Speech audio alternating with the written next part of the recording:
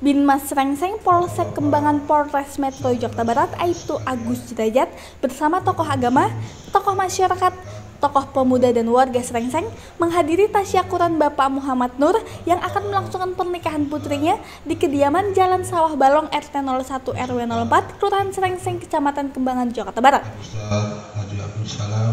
Dalam kegiatan tersebut, Binmas Rengseng menyampaikan himbauan Kamtipmas dengan berbincang-bincang mengajak warga untuk tetap menjaga toleransi dan silaturahmi baik dengan tetangga maupun dengan masyarakat lainnya. Juga dihimbau agar jangan mudah terprovokasi oleh isu sara dan berita hoax melalui media sosial. Dengan adanya kegiatan silaturahmi ini, diharapkan masyarakat akan merasa lebih dekat dengan Polri.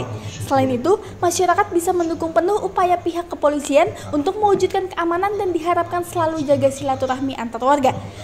Kalau ada permasalahan, sebisa mungkin diselesaikan secara kekeluargaan dan jangan sungkan untuk menghubungi Babin Kamtipmas Kelurahan Serengseng, Kecamatan Kembangan, Jakarta Barat. Demikian dilaporkan oleh Binmas Serengseng, Polsek Kembangan Polres Metro Jakarta Barat, Aibtu Agus Sudajat. Salam terbata.